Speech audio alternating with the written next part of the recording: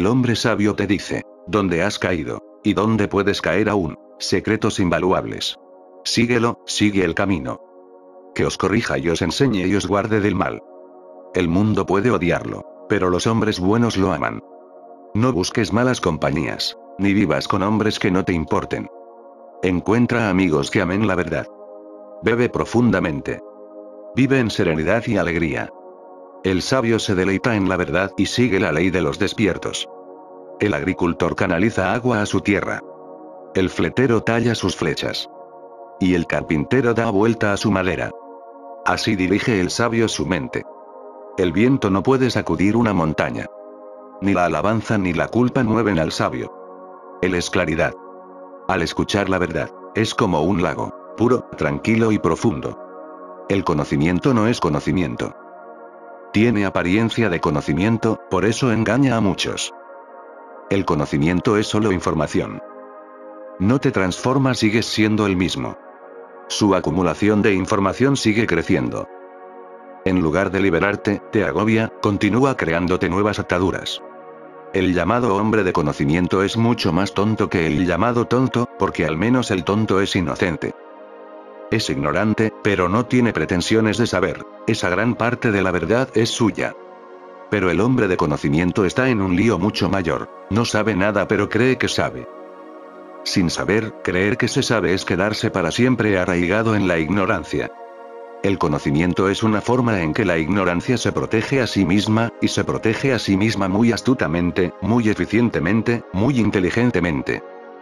El conocimiento es el enemigo aunque aparece como el amigo. Este es el primer paso hacia la sabiduría. Saber que no sabes, saber que todo conocimiento es prestado, saber que no te ha sucedido a ti, ha venido de otros, que no es tu propia intuición, tu realización propia. En el momento en que el conocimiento es tu propia realización, es sabiduría. Sabiduría significa que no eres un loro, que eres un hombre, que no estás repitiendo a los demás sino expresándote a ti mismo, que no eres un calco, que tienes un rostro propio y original. El conocimiento te convierte en una copia al carbón, y ser una copia al carbón es la cosa más fea del mundo. Esa es la calamidad más grande que le puede pasar a un hombre, porque no sabiendo y sin embargo creyendo que sabes, permanecerás siempre ignorante y en tinieblas. Y hagas lo que hagas va a estar mal. Puede convencer incluso a otros de que sabe, puede fortalecer su ego, puede volverse muy famoso, puede ser conocido como un gran erudito, un experto, pero en el fondo no hay nada más que oscuridad. En el fondo aún no te has encontrado contigo mismo, aún no has entrado en el templo de tu ser. El ignorante está en una situación mucho mejor. Al menos no tiene pretensiones, al menos no engaña a los demás ni a sí mismo. Y la ignorancia tiene una belleza, la belleza de la simplicidad, la belleza de la sencillez. Saber que no se trae inmediatamente un gran alivio. Saber, experimentar, la ignorancia absoluta de uno lo llena a uno de gran asombro. La existencia se transforma en un misterio. Y de eso se trata Dios.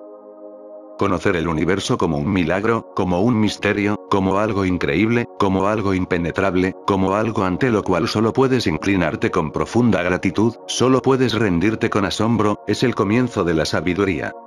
Sócrates tiene razón cuando dice, solo sé una cosa, que no sé nada.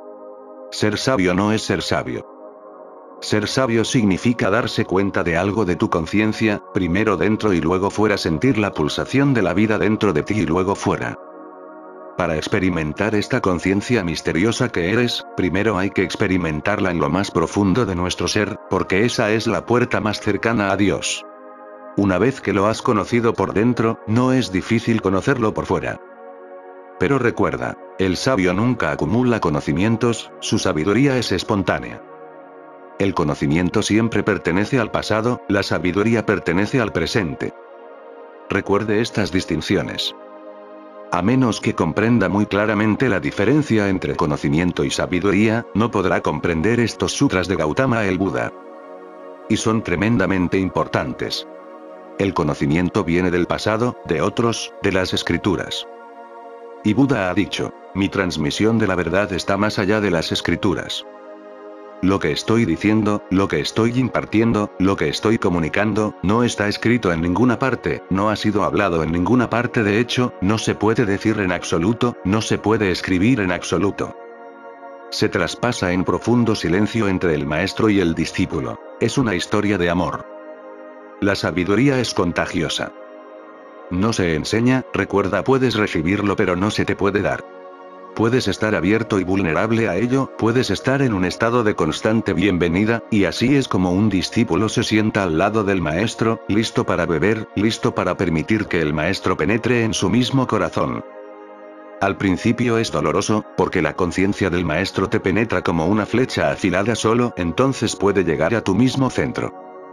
Huele. El conocimiento satisface al ego, la sabiduría destruye el ego por completo, por lo tanto, la gente busca el conocimiento. Es muy raro encontrar un buscador que no esté interesado en el conocimiento, pero que esté interesado y comprometido con la sabiduría. Conocimiento significa teorías sobre la verdad, sabiduría significa la verdad misma. Conocimiento significa de segunda mano, sabiduría significa de primera mano. Conocimiento significa creencia. Otros dicen y tú crees. Y todas las creencias son falsas. Ninguna creencia es verdadera. Incluso si crees en la palabra de un Buda, en el momento en que crees se convierte en una mentira. La verdad no se puede creer o sabes o no sabes. Si sabes, no se trata de creer si no sabes, de nuevo no hay cuestión de creencia. Si sabes, sabes si no sabes, no sabes. La creencia es una proyección de la mente astuta. Te da la sensación de saber, sin saber. El hindú, el maometano, el cristiano, el judío, el jainista, el budista, todos creen. Creer es barato, es muy fácil, no hay nada en juego. Puedes creer fácilmente en Dios, puedes creer fácilmente en la inmortalidad del alma, puedes creer fácilmente en la teoría de la reencarnación. De hecho, siguen siendo solo superficiales en el fondo no te afectan, en absoluto. Cuando la muerte llame a tu puerta, sabrás que todas tus creencias han desaparecido. La creencia en la inmortalidad del alma no te ayudará cuando la muerte toque a tu puerta. Llorarás y llorarás y te aferrarás a la vida. Cuando llegue la muerte te olvidarás de Dios. Cuando llegue la muerte, no podrás recordar la teoría, y las complicadas implicaciones de la misma, sobre la reencarnación. Cuando la muerte te golpea, derriba toda la estructura de conocimiento que habías construido a tu alrededor, te deja absolutamente vacío. Y con la conciencia de que toda la vida ha sido un desperdicio. La sabiduría es un fenómeno totalmente diferente. Es experiencia, no creencia. Es experiencia existencial, no se trata de sobre. No crees en Dios, lo sabes. No crees en la inmortalidad del alma, la has probado. No crees en la reencarnación, lo recuerdas, recuerdas que has estado aquí muchas veces. Y si esto ha sido así en el pasado, lo será en el futuro. Recuerdas que has estado en muchos cuerpos. Has sido una roca, has sido un árbol, has sido animales, pájaros, has sido hombre, mujer. Has vivido en tantas formas. Ves que las formas cambian pero la conciencia interna permanece igual entonces ves solo los cambios superficiales pero lo esencial es eterno. Esto es ver, no creer. Y todos los verdaderos maestros están interesados en ayudarte a ver, no a creer. Para creer, te vuelves cristiano, hindú, maometano. Creer es la profesión del sacerdote. El maestro primero tiene que destruir todas tus creencias. Teístas, ateas, católicas, comunistas. El maestro tiene que desmantelar toda tu estructura de creencias para que te quedes de nuevo como un niño pequeño, inocente, abierto, listo para indagar, listo para sumergirte en la aventura de la verdad. La sabiduría surge dentro de ti, no es una escritura. Empiezas a leer tu propia conciencia, y allí están ocultas todas las Biblias y todos los Gitas y todos los Damapadas. Un gran erudito una vez compró un loro. Cuando lo llevó a casa le dijo, te voy a enseñar a hablar. No te molestes, respondió el pájaro. Ya puedo hablar. Quedó tan asombrado que lo llevó a la universidad. Mira. Tengo un loro parlante fantástico aquí. Pero el loro no hablaba, aunque el erudito insistía en que podía. La gente le apostó 10 a 1 a que no podía, y perdió la apuesta. Nada induciría al loro a hablar. De camino a casa, seguido por las burlas de sus amigos, el hombre golpeó al loro y le dijo, Idiota, mira la cantidad de dinero que me perdiste. Tú eres el tonto, dijo el loro. llévame de vuelta a esa universidad mañana y obtendrás 100 a 1 y ganarás. Sí, los loros son mucho más inteligentes que tus profesores. Los loros tienen más perspicacia que sus expertos, eruditos, académicos. Si quieres conocer a los verdaderos tontos, tendrás que visitar una universidad. Todo tipo de simuladores, llenos de galimatías. Sin saber lo que realmente están haciendo, pero siguen haciendo cosas. Sin saber lo que están enseñando, pero son maestros siguen escribiendo grandes tratados. Muya Nasruddin tenía una placa de identificación en su casa. Todo el mundo se preguntaba acerca de sus títulos que había puesto en la placa de identificación. En la placa había escrito, Muya Nasruddin, PS, MS, PH. D. Todo el mundo estaba intrigado. Finalmente se reunió la gente del barrio y le dijeron, Nasruddin, hasta donde sabemos, nunca has ido a ninguna universidad. ¿Qué decir de ninguna universidad? Nunca has ido a ninguna escuela. De hecho, no sabes leer y no no sabes escribir. ¿De dónde has obtenido estos títulos? Él dijo, ¿sabes lo que significan estos grados? BS es una forma abreviada. ¿Forma corta de qué? Ellos preguntaron. Él dijo, piénsalo bien. Entonces entendieron. BS es una forma abreviada de algo que no se puede mencionar, dijo. Y MS significa más de lo mismo. Y doctorado significa. Reflexiona sobre ello, medita sobre ello. Puedes inferir que PH. D. Medio. Recuerdas BS, su significado, recuerdas MS, más de lo mismo, y luego qué pasa con PH. D. Te lo dejo a ti. Si meditas encontrarás, y eso te hará un poco sabio. Si no lo encuentras, mañana puedes preguntar en las preguntas. Después de más de 50 años de ateísmo, los científicos en Rusia comenzaron a tener curiosidad acerca de lo que podría ser la religión. Un grupo de ellos tomó un libro de citas sagradas y decidió hacerlo descifrar por una computadora analógica. Abrieron el libro y tomaron la primera frase que vieron, escribiéndola en el teclado. La frase era, el espíritu está dispuesto, pero la carne es débil. Se apiñaron alrededor de la copia impresa cuando las palabras comenzaron a aparecer. Mientras leían el mensaje su asombro aumentaba. El vodka está listo, pero la carne está desvitalizada. No es de extrañar que las religiones solían desconcertar a la gente, murmuraron entre sí. Entonces uno de ellos tuvo una idea. Tecleó el título del libro, Pequeñas no consideradas, en el decodificador. Salió la traducción. Pudines descuidados. Verás. Él gritó. Te has equivocado de libro. Este es uno sobre los abusos de la cocina. Todavía están buscando un texto religioso auténtico. La mente del hombre informado es como una computadora. Continúa interpretando las cosas sin saber exactamente lo que está haciendo, él no es lo suficientemente consciente para hacerlo. Pero no puedo continuar porque veo que todos ustedes están pensando en doctorarse. Doctor significa amontonado alto y profundo, ahora termine con eso para que podamos seguir adelante. El Buda dice, el sabio te dice dónde has caído y dónde aún puedes caer, secretos invaluables. Síguelo, sigue el camino. El sabio te dice dónde has caído. La primera lección en una escuela de misterios es la caída original del hombre. No tiene nada que ver con Adán y Eva y su caída original. Esa historia es simplemente una parábola condensada sobre toda la humanidad. Cada niño cae de la misma manera. No es algo que sucedió en el pasado, en los viejos días bíblicos no es algo que sucedió en el jardín del Edén. Esa es una expresión poética. Ocurre cada vez que nace un niño. Sucede una y otra vez. Está sucediendo todos los días. La parábola es que Dios ha prohibido a Adán y Eva comer del árbol del conocimiento. Es una de las parábolas más hermosas jamás inventadas por los maestros, por los verdaderos conocedores. No comer del árbol del conocimiento. ¿Y cuáles son sus universidades? Árboles del conocimiento. ¿Y cuál es tu educación? Un árbol del conocimiento. Dios les había prohibido comer de él, para que permanecierais inocentes, porque solo el corazón inocente puede saber. En el momento en que te llenas de conocimiento, el saber se detiene. De hecho, has encontrado un sustituto para saber. tu conocimiento se convierte en el sustituto.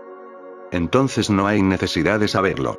Sigues aferrándote al conocimiento y este sigue dando satisfacción a tu ego. Pero en el momento en que Adán y Eva comieron del árbol del conocimiento, cayeron, cayeron de su inocencia original, cayeron de su vida infantil. Antes de eso había poesía en su vida, antes de eso había belleza en su vida, antes de eso había éxtasis en su vida, antes de eso había asombro y asombro. Antes todo era extraordinario, porque toda la existencia estaba llena de misterio, estaban rodeados por un universo misterioso. El arco iris y el sol y la luna y las estrellas. Todo era increíble. Estaban en constante sorpresa. En el momento en que se volvieron informados, toda esa maravilla desapareció. El conocimiento mata el asombro, y al matar el asombro destruye tu espíritu de conocimiento, de indagación. El conocimiento desmitifica el universo, y un universo desmitificado es un universo sin Dios. Un universo desmitificado es un universo sin poesía, sin amor, sin música. Entonces el sonido de las gotas de lluvia no llega a tu corazón como un mensaje de la otra orilla. Entonces el viento que pasa entre los pinos te deja impasible, y la fragancia de las flores no crea en ti poesía. Los colores de una mariposa se ignoran. Un arco iris permanece invisible. Te apegas demasiado a cosas muy mundanas. Dinero, poder, prestigio. Te vuelves feo porque toda tu existencia se vuelve ordinaria, pierde sacralidad, se vuelve profano. Transformas el templo de Dios en un mercado. Esa es la caída original, pero sucede todos los días, recuerda. No creas a los cristianos que dicen que sucedió solo una vez, sucede con cada niño.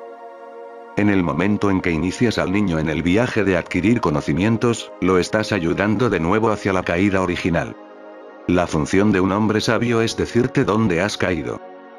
Has caído a causa del conocimiento, esa es la caída original. Puedes volver a esos momentos claros e inocentes, puedes entrar de nuevo en el paraíso, pero tendrás que renunciar al conocimiento. Hay gente que renuncia al mundo, pero no renuncia a su conocimiento, hay gente que va a las montañas, que renuncia al mercado, pero llevan consigo la mente, y la mente es el mercado. El mercado existe en la mente. No existe en ningún otro lugar. Pueden mudarse a los Himalayas, pueden sentarse en hermosas cuevas silenciosas, pero su mente sigue y sigue el mismo viejo patrón. Un hombre que ha ido a las cuevas del Himalaya sigue siendo cristiano, budista, hindú. Ahora bien, ser hindú es permanecer apegado a cierto conocimiento que se te ha dado, esa es una de las formas de caer. Ser maometano es otra forma de caer, ser cristiano es otra forma más de caer. El cristianismo es una cierta clase de conocimiento, lo mismo que el hinduismo, y también lo son las otras 300 religiones de la Tierra. Todos afirman saber, todos afirman que sus escrituras son divinas, escritas por Dios mismo, y solo sus escrituras son divinas y todas las demás escrituras son falsas. Buda dice que las escrituras como tales son falsas, el conocimiento como tal es falso. Jesús tiene razón, pero el cristianismo no tiene razón. Mavidra tiene razón, pero el jainismo no tiene razón. Con Mavidra hay conocimiento, el jainismo es conocimiento. El conocimiento es la caída del saber. El saber es individual. El conocimiento es una mercancía, un fenómeno social, se puede vender y comprar, está disponible en las bibliotecas, en las universidades. Pronto podrá llevar consigo pequeñas computadoras de bolsillo, no necesitarás pasar por todas las torturas de las escuelas, colegios y universidades. Puedes tener una pequeña computadora llena de todo el conocimiento disponible en el mundo. Una pequeña computadora puede contener todas las bibliotecas del mundo y está siempre a tu servicio. Solo presiona un botón y todo lo que quieras saber la computadora te lo dirá. Eso es lo que tu mente ha estado haciendo en el pasado, ahora las máquinas pueden hacerlo de una manera mucho mejor. Tu mente tampoco es más que una máquina, es una biocomputadora. Recuerda, no es tu alma recuerda, no es tu conciencia recuerda, no es tu realidad, tu auténtica individualidad. Es un subproducto social. Si naces en una familia hindú, alcanzas el conocimiento hindú, y ciertamente es diferente del conocimiento cristiano. Si has nacido en Rusia tendrás conocimientos comunistas, Das Capital y el Manifiesto Comunista, Marx, Engels, Lenin, la Trinidad impía. Si naciste en China, tendrás el libro rojo de Mao Zedong, esa es la Biblia. Ahora toda China está siendo alimentada con declaraciones estúpidas de Mao Zedong. No es un hombre sabio, no está iluminado. Ni siquiera se ha conocido a sí mismo, ¿qué revolución conoce? ¿Qué rebeldía conoce? Porque incluso la primera rebelión, la rebelión básica, no ha sucedido. La rebelión básica, la revolución básica, consiste en dejar caer el conocimiento para poder entrar de nuevo en el jardín del Edén. El sabio te dice dónde has caído y dónde estás aún puede caer. No solo te habla del pasado, donde has estado cayendo una y otra vez, sino que también te hace consciente del futuro. Hay muchas trampas, puedes desviarte en cualquier momento. Por ejemplo, te estoy diciendo que todo conocimiento es estúpido, que no necesitas aferrarte a la Biblia o a los Vedas o al Corán. Me amas, confías en mí, puedes dejar de aferrarte al Corán, a la Biblia, al Gita, pero puedes comenzar a aferrarte a mis declaraciones, puedes comenzar a hacer una Biblia con mis ideas. Estás de vuelta en la misma trampa, estás de vuelta, por la puerta de atrás. De nuevo eres la misma persona. Ahora no tienes la Biblia, pero ahora me tienes a mí. El sabio te dice. ¿Dónde puedes caer aún? La última declaración de Gautama el Buda a sus discípulos fue, sé una luz para ti mismo. Estaban llorando y llorando, naturalmente. El maestro se iba y habían vivido con el maestro durante casi 40 años. Algunos discípulos mayores habían vivido con él todo el tiempo. Estos 40 años fueron de tremenda alegría, de grandes experiencias. Estos 40 años habían sido el tiempo más hermoso posible, humanamente posible. Estos 40 años habían sido días de paraíso en la tierra. Y ahora el maestro se va. Era natural, empezaron a llorar y llorar. Buda abrió los ojos y dijo, deja de llorar y llorar. ¿Aún no me has escuchado? ¿Por qué lloras? Su principal discípulo, Ananda, dijo, ¿por qué te vas? Porque nuestra luz se va. Vemos, sentimos que la oscuridad desciende sobre nosotros. Todavía no me he iluminado y te vas. Si no pude iluminarme mientras estabas vivo, ¿cuál es la esperanza para mí ahora que te habrás ido? Estoy muy desesperado, mi angustia es incalculable, he desperdiciado estos 40 años. Te he estado siguiendo como una sombra, fue tremendamente hermoso estar contigo, pero ahora te vas. ¿Qué nos va a pasar? Buda dijo. Estás llorando porque aún no me has oído. Te he estado diciendo una y otra vez. No creas en mí, pero no me has escuchado. Porque has creído en mí, y ahora me estoy muriendo. Toda tu estructura se está desmoronando. Si me hubieras escuchado, si hubieras creado una luz en tu ser en lugar de volverte sabio a través de mí, si te hubieras experimentado a ti mismo, no habría habido necesidad de llorar. Mira Manjushtree. Dijo. Manjushri fue otro discípulo de Buda, uno de los más grandes. Estaba sentado debajo de un árbol muy cerca, con los ojos cerrados, tan sereno, tan tranquilo, tan completamente dichoso, que Buda dijo, mira a Manjushri.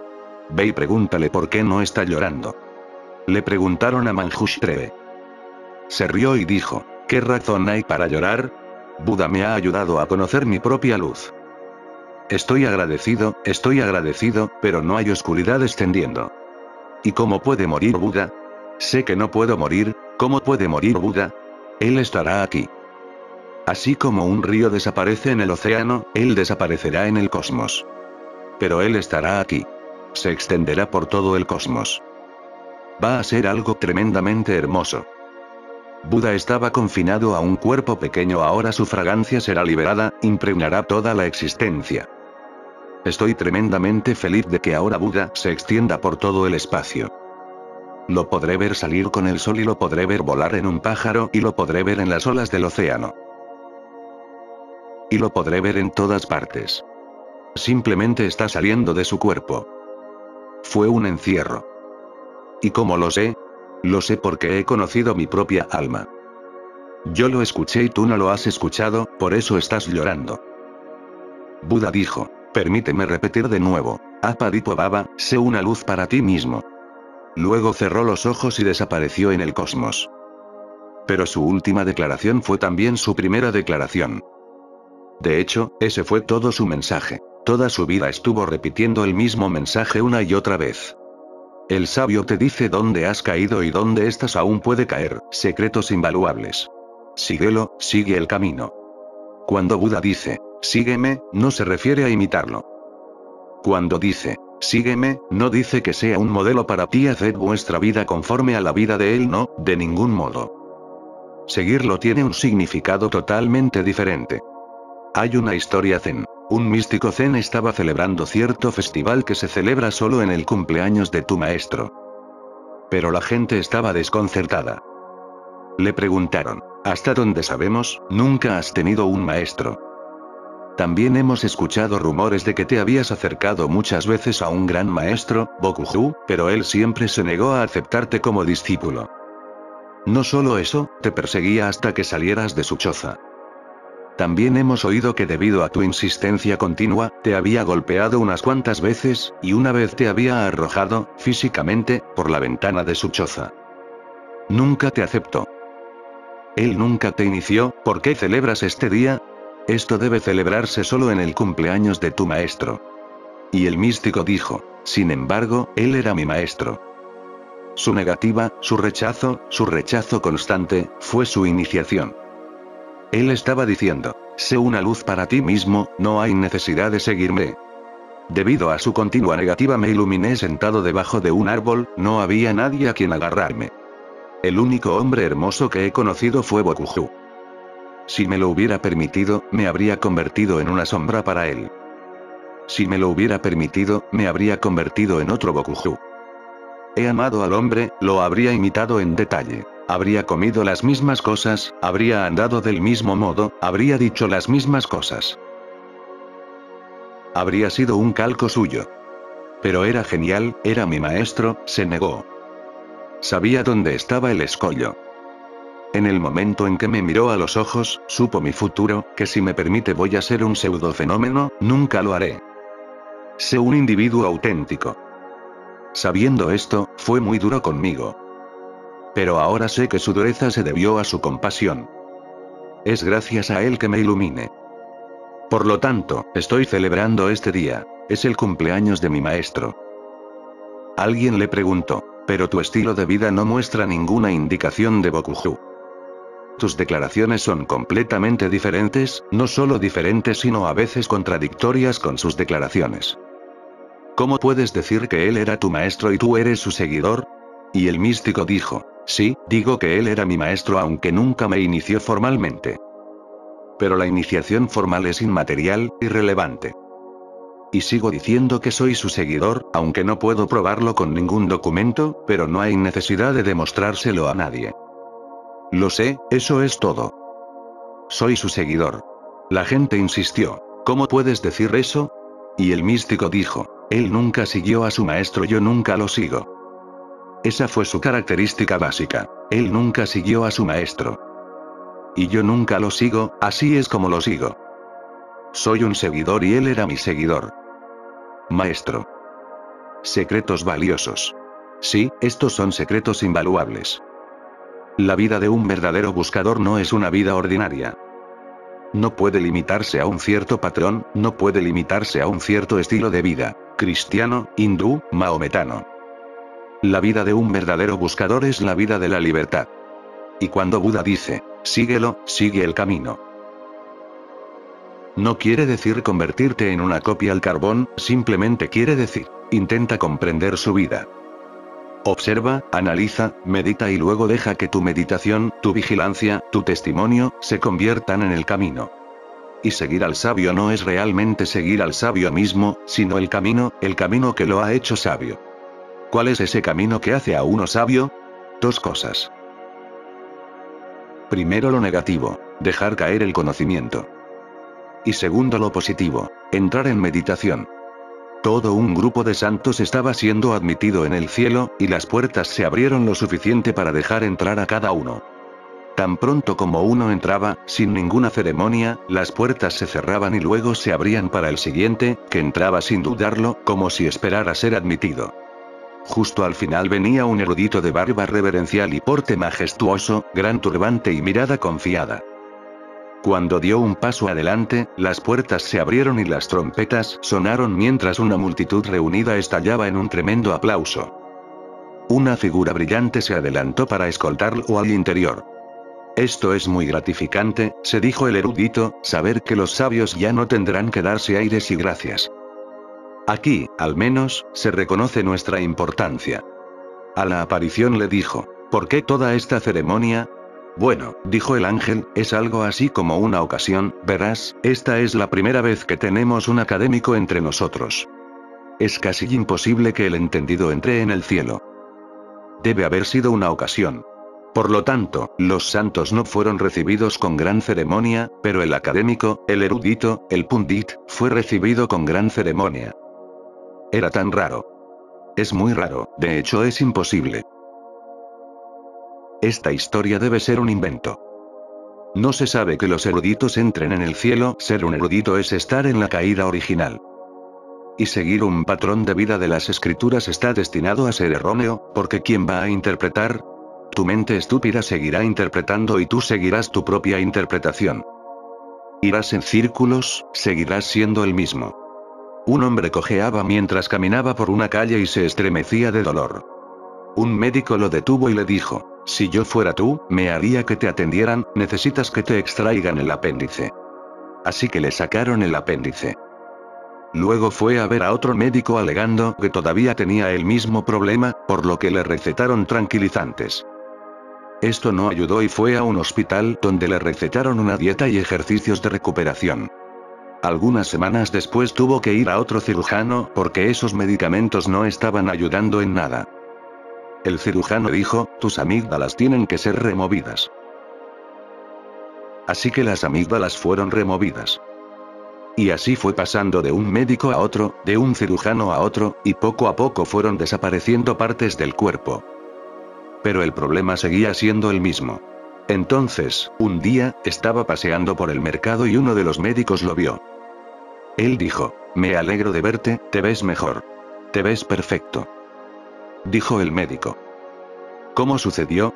¿Quién te ayudó finalmente? Porque todos habíamos fallado. ¿Fue mi servicio el que te ayudó? Servir mi ojo. Dijo el paciente. Tanto el dolor como la cojera desaparecieron en el momento en que saqué ese clavo de mi zapato. A veces las cosas son muy pequeñas, pero si vas a gente con conocimientos, te miran con lupa, magnifican todo. Son inteligentes y eficientes en la creación de problemas, porque conocen las soluciones. Sus soluciones son útiles solo si crean problemas. Acude a cualquier experto, e inmediatamente te dirá tantos problemas de los que nunca te diste cuenta. Tiene que hacerlo, porque toda su pericia depende de que usted tenga muchos problemas, y cuanto más complicados son, más feliz se siente porque ahora tiene la oportunidad de demostrar su conocimiento, su habilidad. El verdadero problema puede ser muy pequeño. El verdadero problema es realmente pequeño. El problema es que vives en la cabeza. Baja de la cabeza al corazón. La cabeza puede volverse erudita, el corazón nunca puede volverse erudito. El corazón puede volverse sabio. El corazón sabe de una manera totalmente diferente. Su conocimiento es directo, inmediato, no es lógico, es intuitivo. No es una inferencia, no es una conclusión después de una larga argumentación. Es una visión simple. Uno simplemente sabe. El corazón no es un proceso de conocimiento, es la apertura de un ojo. Deja que te corrija y te enseñe y te guarde de travesuras. La mente es traviesa. Continúa engañándote, te hace tantas travesuras de las que no te das cuenta. La primera travesura es, el sabio comparte su sabiduría y tú inmediatamente saltas sobre ella y la conviertes en conocimiento. La segunda travesura es, el sabio te ayuda a ser tú mismo y te pones a trabajar duro para imitar al sabio, tratas de ser como él. El sabio solo quiere que tengas conocimiento de las cosas para que tengas tu propia luz. Pero usted no quiere perspicacia, quiere instrucciones claras. No quieres verte a ti mismo, quieres ser guiado. No quieres aceptar tu responsabilidad hacia ti mismo, quieres echar toda la responsabilidad sobre los hombros del maestro, sobre los hombros del sabio. Entonces te sientes a gusto. Ahora él es el responsable si algo sale mal, él es el responsable. Y todo va a estar mal, porque a menos que asumas tu responsabilidad, nada va a estar bien. Nadie puede corregirte excepto tú mismo. El maestro simplemente te enseña a ser un maestro de ti mismo. Esa es la verdadera función de un maestro. no quiere que dependas de él. Pero la mente sigue jugando estas travesuras. La mente quiere que dependas. La mente siempre está en busca de una figura paterna o una figura materna. Quieres que alguien te sostenga la mano. Quieres a alguien que te guíe, que te guíe. El maestro solo puede indicar. Es un dedo apuntando a la luna. Pero la mente hace una travesura. Se aferra al dedo, incluso puedes empezar a chuparte el dedo.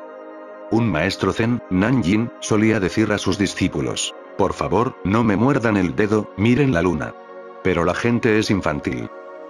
Así como los niños pequeños se chupan los dedos y creen que se alimentan, los niños adultos chupan los dedos de los maestros y creen que se alimentan. Cuidado con las travesuras de la mente.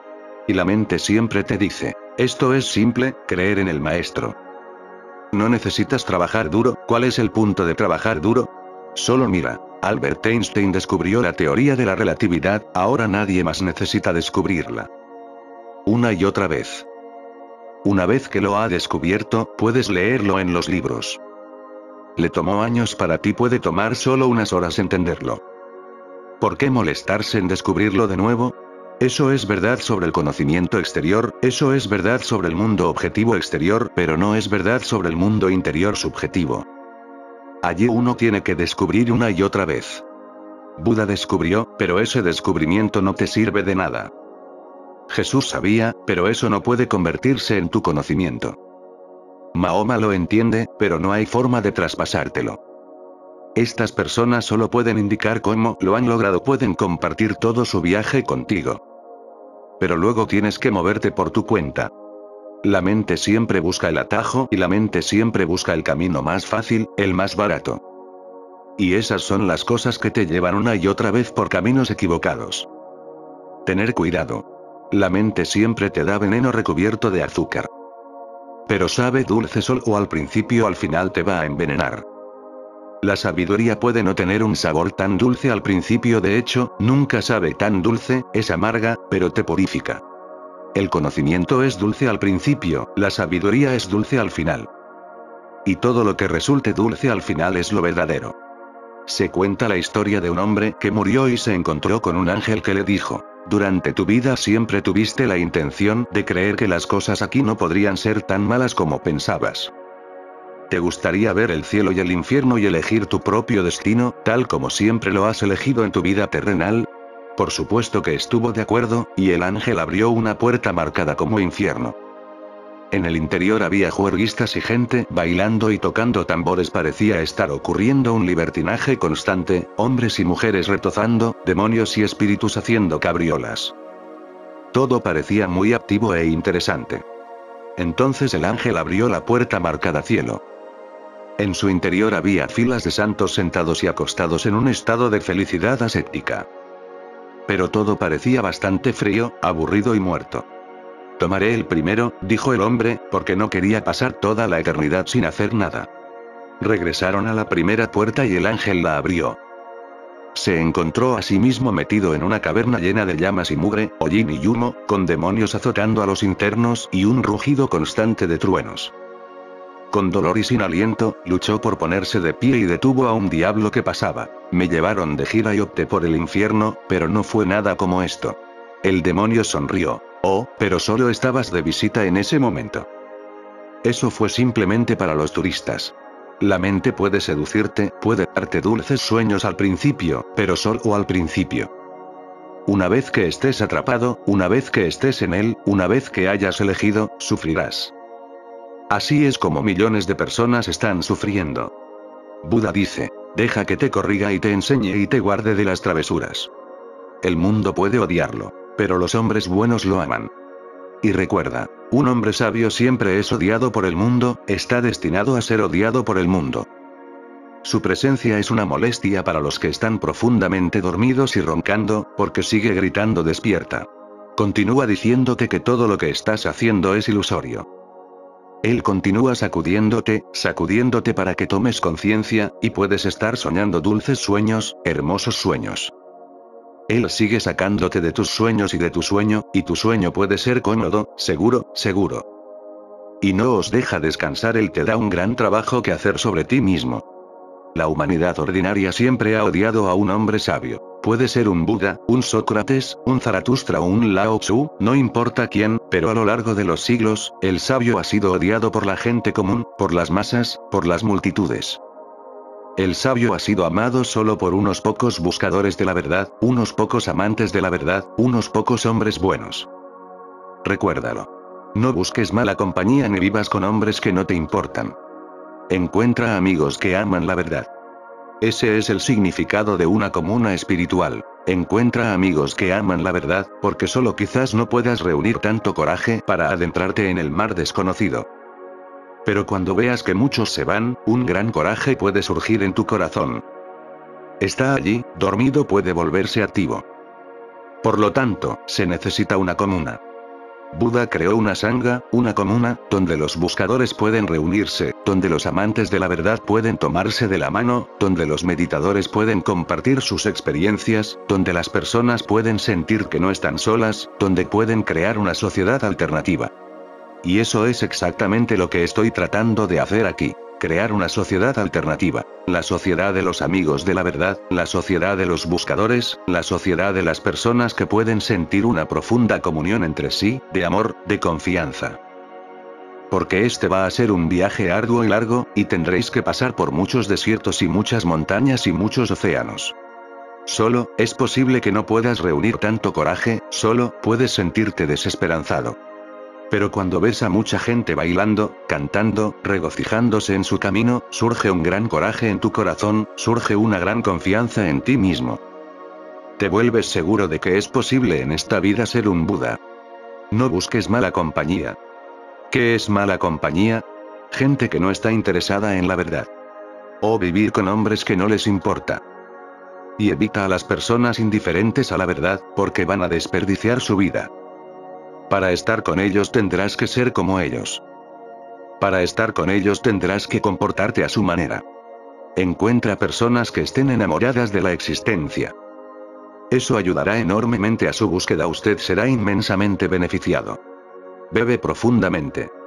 Y cuando hayas encontrado a un hombre sabio, un maestro, un Buda, cuando hayas encontrado una comunidad de buscadores de la verdad, una sangha, entonces bebe profundamente, entonces no seas avaro, entonces no aguantar. Has tenido sed de vidas y vidas. Cuando llegue el momento, no permita que sus viejos hábitos lo impidan. Beba profundamente, sin vacilar, con valentía. Adelante. Bebe profundamente. Viva en serenidad y alegría. Estar con un maestro es realmente ser un borracho. Un maestro está compartiendo su vino. Un maestro está compartiendo un jugo interior que ha comenzado a fluir en su ser. La fuente es inagotable, puedes beber tanto como quieras, no puedes agotarlo. Estar con un maestro es aprender a beberlo, a comerlo, a digerirlo. Ser un discípulo es realmente ser un caníbal. El maestro hay que comerlo, beberlo, digerirlo, para que empiece a fluir en tu sangre, en tus huesos, en tu médula. Para que se vuelva parte de tu ser. Bebe profundamente. Viva en serenidad y alegría. Y cuando estés cerca de un maestro, no estés triste y no seas serio. Esa no es la manera de estar en comunión con un maestro. Estás unido solo por el regocijo. Por supuesto, tu alegría tiene que ser muy serena, tranquila, fresca. La verdadera alegría no es febril, es fresca, es muy silenciosa. Canta una canción, pero la canción es la del silencio. No grita, susurra. Vive en serenidad y alegría, porque cuanto más sereno eres, más disponible estás para el maestro. Y cuanto más alegre eres, más cerca estás del maestro. Estas son las formas de estar más cerca. Muchos Yasins me preguntan, ¿cómo estar cerca de ti, amado maestro? Sé sereno, sé alegre. Y estás cerca. Siéntete triste, sé serio y estarás muy, muy lejos. Físicamente puedes estar cerca, pero si estás triste no estás cerca. Físicamente puedes estar a miles de millas de distancia, pero si estás feliz, regocijándote de tener un maestro, regocijándote de haber encontrado un Buda, regocijándote de que la tierra aún no ha sido abandonada por Dios, que sigue enviando a sus mensajeros, regocijándose de que Cristo todavía camina sobre la tierra, que Mahoma no está muerto sino que ha nacido en otra forma, regocijándose de que la conciencia todavía florece y se convierte en un loto como un Buda. Y has encontrado un loto. Eres afortunado, eres bendecido. Regocijarse en él te acerca más y más al maestro. Es una cercanía espiritual, no tiene nada que ver con la cercanía física. El sabio se deleita en la verdad y sigue la ley de los despiertos. Y si vives con alegría, con una serenidad profunda, si bebes sin contenerte de ningún modo, si vas de todo corazón con el maestro, empiezas a ser sabio. El hombre sabio se deleita en la verdad. Entonces, cada vez que escuchas la verdad, cada vez que ves la verdad, te deleitas. Tu deleite es inmenso. Tu deleite no es de esta tierra, es algo del más allá. Y sigue la ley de los despiertos. Y poco a poco te vuelves consciente de la ley de los despiertos. Ah, estamos Anantano. El mundo no es un caos, es un cosmos. El universo no es accidental, corre de un lado a otro en él una cierta ley. Buda llama a esa ley Dama, llama a esa ley Dios. Su enfoque es tremendamente científico. Él no predica a ningún dios que se sienta en un trono de oro en el cielo y domina y controla el mundo, y se pone celoso y se enoja, si no lo sigues, te arroja al infierno si lo sigues, si lo alabas, si lo sobornas con oraciones y sacerdotes, entonces Él te recompensa en el cielo con hermosas mujeres que nunca envejecen, que están atrapadas en la edad de 16 años. Buda no cree en ningún dios que recompense o castigue. Su enfoque es científico. Él dice que Dios significa la última ley que mantiene unido a todo el universo. El universo es una guirnalda. Ves las flores pero no ves el hilo que corre a través de las flores está escondido ese hilo es Dios, y ese Dios solo lo conocen los despiertos, los budas. Bebe profundamente del maestro, absorbe su ser, absorbe su presencia. Derrítete en su presencia. Deja que su calidez y compasión ayuden a derretir el hielo de tu ego. Hazte uno con él. Suelta la dualidad. Ser puenteado. Este es el significado del discipulado, esto es de lo que se trata Sanyas, y poco a poco comenzarás a ver lo que es verdadero y lo que es falso. Conocer lo falso como falso es conocer la verdad como la verdad, conocer la oscuridad como oscuridad es el comienzo de conocer la luz como luz. Y cuando el amor por la verdad surja en ti, no estará lejos cuando te iluminarás en tu propia luz, cuando despertarás. Antes de que eso suceda, siga la ley de los despiertos, esté en sintonía con los despiertos, esté en armonía con los despiertos, porque es una sincronicidad. Escuchando música hermosa te dan ganas de bailar. No es causado por la música, porque todos los que están escuchando la música pueden no sentirse así, entonces no es la ley de causa y efecto, es una ley totalmente diferente. Carl Gustav Jung la ha llamado la ley de la sincronicidad, le ha dado un hermoso nombre. Ha sido conocido a lo largo de los siglos, pero él es el primero que lo ha redescubierto en Occidente. En Oriente lo hemos llamado Satsang. Estar en sintonía con el maestro, estar tan en sintonía que su ser empiece a hundirse en ti, que empieces a superponerte. Entonces algo empieza a suceder en ti que nunca ha sucedido. El maestro no lo está haciendo, tú no lo estás haciendo, no hay nadie que lo esté haciendo, simplemente está sucediendo. Al igual que escuchar música, tienes ganas de bailar estando en sintonía con el maestro, sientes que te sucede un despertar. El agricultor lleva agua a su tierra. El fletcher talla sus flechas. Y el carpintero voltea su madera. Así dirige el sabio su mente. Una vez que te hayan sucedido algunos fragmentos de sabiduría, dirige tu mente hacia los despiertos. El discípulo está continuamente dirigiendo su mente hacia su maestro incluso después de que el discípulo se ilumina, continúa dirigiendo su mente. Sariputta se iluminó. Fue uno de los grandes discípulos de Buda. Cuando se iluminó, tenía mucho miedo de ir frente a Buda. ¿Por qué? Porque sabía que ahora Buda le diría que fuera y corriera la voz tendrá que dejar el maestro. Se dice que durante muchos días estuvo escondiéndose del maestro, pero finalmente Buda preguntó, ¿Dónde está Sariputta? Porque se ha iluminado y no puedes esconder una luz. tráelo, tráelo donde sea que esté. Estaba escondido en una cueva. Lo trajeron a la fuerza. Él dijo, no quiero ir. Sé lo que me va a hacer. Él dirá, ahora ve, deambula, deambula, predica. Ahora te has despertado, despierta a otros. Y no quiero dejar al maestro. ¿Cómo voy a vivir sin su presencia constante? Pero tuvo que irse. Cuando llegó a Buda, Buda dijo, ahora ve al este y difunde la palabra. Lo has logrado, ahora compártelo. Y cuando el amo ordena, hay que seguirlo. Con lágrimas en los ojos tocó los pies del maestro, se dirigió hacia el este. Pero todas las mañanas lo primero que hacía, se levantaba, se inclinaba hacia el oeste donde moraba el maestro. La gente le preguntaba, Sariputa, ahora eres un Buda por derecho propio. ¿Qué estás haciendo? ¿Por qué sigues inclinándote todas las mañanas hacia el oeste? Él dijo, no importa si estoy iluminado o no. Es irrelevante, no es el punto. Mi maestro está morando en el oeste aunque estoy lejos, todavía me alimento por su presencia. Puedo abandonar mi iluminación pero no puedo abandonar a mi maestro. La iluminación no es nada comparada con la sintonía con el maestro. El hombre sabio dirige su mente, a la verdad, a la última ley de la existencia, a las personas despiertas. Y cuando diriges tu mente hacia las personas despiertas, o hacia la ley de la existencia, lentamente, lentamente, la vieja mente loca comienza a asentarse, la vieja charla desaparece. Te vuelves más y más silencioso, sereno y tranquilo. Te conviertes en un lago silencioso, todas las olas se han ido, ni siquiera las ondas se encuentran. Solo entonces la verdad se refleja en ti. El viento no puede mover una montaña. Ni la alabanza ni la culpa mueve al sabio. Y entonces eres como una montaña, nada puede sacudirte. Y luego, la alabanza o la censura no son de ninguna manera diferentes al hombre sabio. Todos son iguales.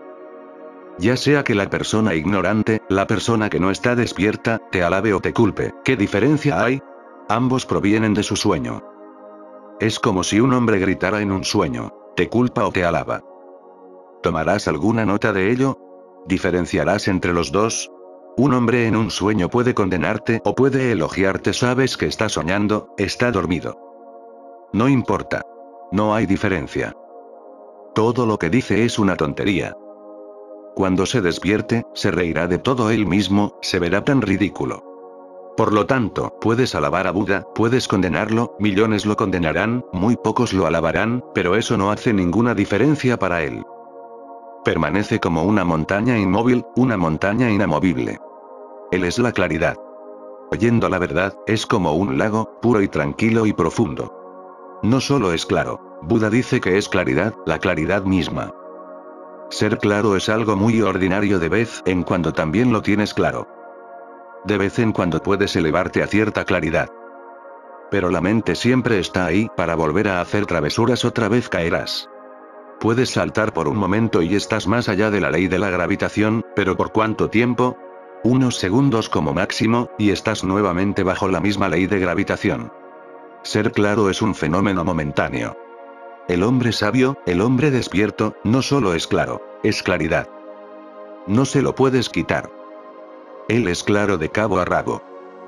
Él es absolutamente claro. Se le ha quitado toda la cizaña, es solo rosas y rosas, una hilera de rosas. Se ha vuelto pura luz, pura capacidad de ver. Su visión ya no está nublada, su cielo está sin nubes. Él es como un lago, puro y tranquilo y profundo. Su conciencia se convierte en un lago, y en ese lago se reflejan todas las estrellas y todos los soles y todas las lunas y todo el cielo y toda la verdad, toda la existencia. En su lago silencioso de conciencia se refleja lo que es, y ese es otro nombre para Dios, lo que es. Medita sobre estos sutras, no solo meditar, empaparse de su espíritu. Buda está compartiendo contigo sus tesoros invaluables, secretos invaluables. Síguelo, sigue el camino.